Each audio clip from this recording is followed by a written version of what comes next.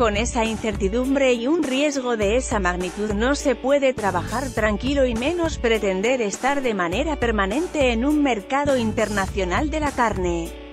Así lo estimó Jorge Quintero Pimentel, gerente del frigorífico Río Frío, el más moderno de Colombia y escogido por el gobierno y su programa Pines para exportar carne a EU, tras conocer el anuncio de conservación del estatus de país libre de aftoxa con vacunación por parte de la OIE, a pesar de que se comprobó que a la zona de contención de Arauca ingresaron 15 animales positivos a la enfermedad tras los respectivos análisis de laboratorio.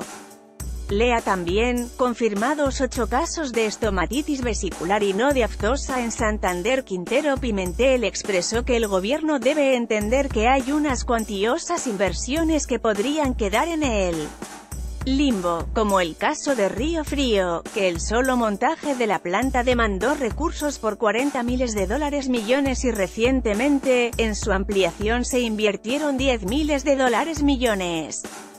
Día a día hacemos esfuerzos para avanzar en aperturas de mercados como el de Israel y Chile. La pérdida de estatus sanitario por aftosa, enfermedad, que cierra los mercados de un solo portazo, nos dejaría otra vez en cero, en el mismo punto de partida de hace cinco años. Es una incertidumbre con ese riesgo latente y permanente, sentenció.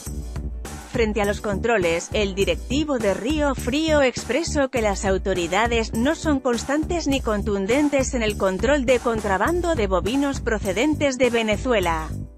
Te puede interesar, desmienten muerte de dos niñas por consumir carne con aftosa en Santander ¿Cuántos bovinos han ingresado? Para José Félix Lafauri Rivera, presidente ejecutivo de Fedegan. Estamos frente a un problema de suma gravedad, como se ha denunciado desde hace varios años, sin embargo, el gobierno no ha sido capaz de controlarlo.